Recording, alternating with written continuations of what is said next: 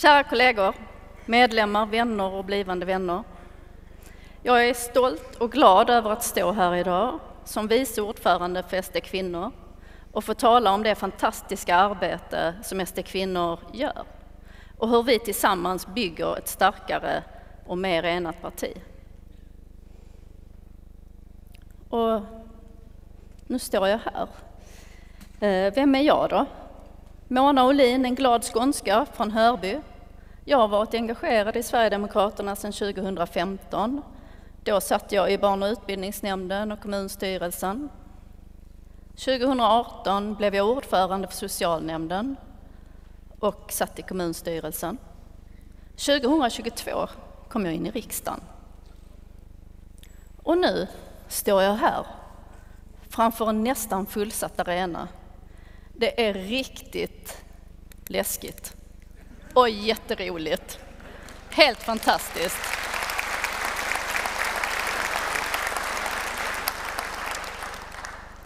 Tidigare när jag har varit på landsdagar och KRK så har jag varit en i publiken som har sett fram på det ansiktet på personen som talade. Och nu står jag här och ser hela publiken från den absolut bästa sidan. Ni är så snygga härifrån. Verkligen. Mitt första möte med SD-kvinnor blev helt avgörande för mitt engagemang och min utveckling inom Sverigedemokraterna. Jag kom ensam till en SD kvinnoträff i Lilla Bromölla. Karina Härstedt, som hon hette då, hon var där och pratade om arbetet i riksdagen och hennes uppdrag. Linda Lindberg var också där. Hon såg till att jag hade famnen full med SD kvinnofoldrar när jag åkte därifrån med ett stort leende på läpparna. Gemenskap, förtroende och framtidstro, det var det jag kände och det är det jag fortfarande känner genomsyrar kvinnoförbundet. SD Kvinnor spelar en viktig roll inom Sverigedemokraterna och har varit en kraft för positiv förändring, inte bara för våra medlemmar utan för hela samhället. SD Kvinnor är en viktig plattform för kvinnor inom partiet, men också en drivande kraft som formar Sverigedemokraternas politik. Genom att skapa ett utrymme där kvinnor kan växa som personer, diskutera och utveckla sina idéer arbetar SD-kvinnor för att stärka sina medlemmar som här får verkliga verktyg att påverka både partiet och politiken i stort. Vi arbetar aktivt med att motivera våra medlemmar att engagera sig, ta plats, sprida och förmedla Sverigedemokraternas politik på alla arenor. Jag har förstått att det är människor här i publiken som kanske har svårt att förstå min skånska. Nej, nej inte skåningarna såklart. Eh, men när jag har tänkt på det har jag faktiskt skrivit ut en liten skånsk-svensk parlör som ligger uppe på bordet hos SD Kvinnor. Så att eh, är det några ord som ni tycker är svåra att förstå så kan ni gå upp där och läsa på lite grann och då kan ni också upptäcka varför skåningar tycker det är bra när folk grinar. Eh, besök gärna vårt bord där uppe. Eh, snacka lite med våra företrädare eller bara koppla av en liten stund. Ska vi se. Förbundet det har vuxit sig allt större. Vi har förändrat organisationen för att skapa bättre förutsättningar för dialog och samarbete med våra distrikt och kommuner. Dialogen med lokala föreningar och förtroendevalda på kommunal nivå det är avgörande för att vi ska kunna skapa en samstämmig och stark organisation och fånga upp kvinnor över hela Sverige. Detta är väldigt viktigt, särskilt i en tid när politiskt engagemang är avgörande för att Sverigedemokraterna ska fortsätta att växa som parti. Vi vill säkerställa ett öppet och lyhört samarbete med alla våra distrikt. För då kan vi skapa en starkare enhetlighet och en gemensam riktning framåt. Ni får jättegärna höra av er till mig om vi inte har nått fram till er i era distrikt.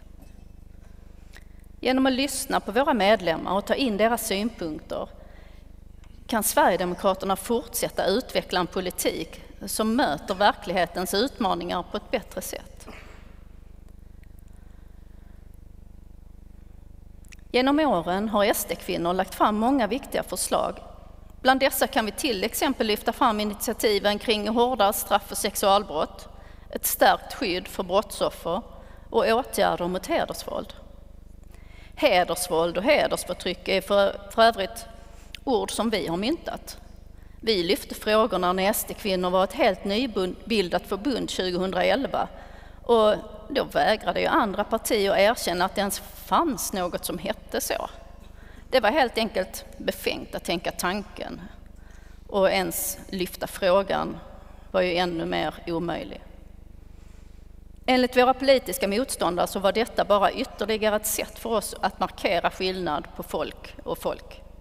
Numera finns det i ordet hedersvåld och hedersförtryck och alla pratar om hur samhället ska hantera och motverka dessa problemen. En annan viktig fråga är kusinäktenskap. Det har nu lagts fram förslag på en lag som förbjuder kusinäktenskap och äktenskap mellan vissa nära släktingar. Även denna fråga har sin linda i SD Kvinnor. Det var vi som lyfte den frågan och nu har det kommit ända fram hit. Det är väl värt något.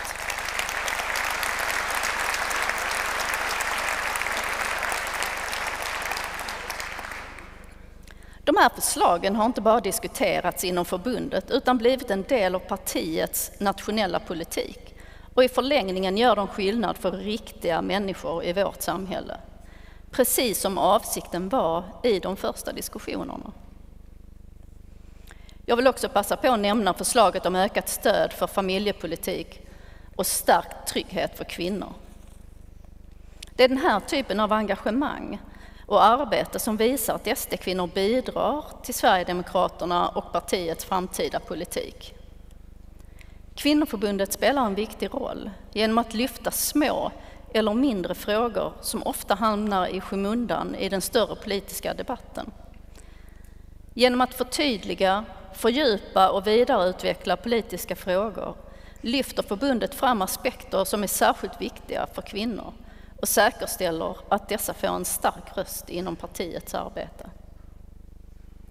Vi arbetar aktivt för att synliggöra frågor och lösningar som påverkar kvinnor. Och SD-kvinnors arbete med att lyfta fram trygghetsfrågor och starka sociala skyddsnät har varit en central del i denna strävan.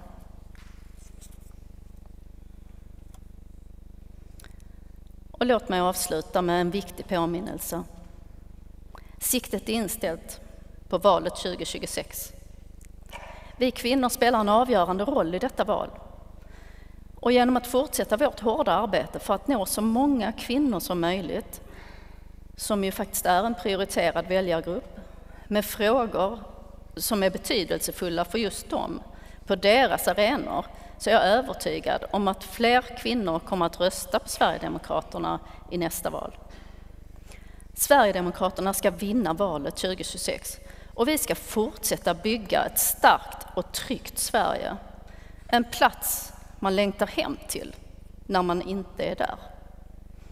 Tack så mycket.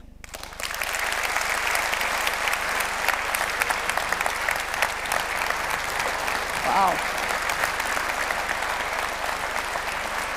Tack så jättemycket. Tack.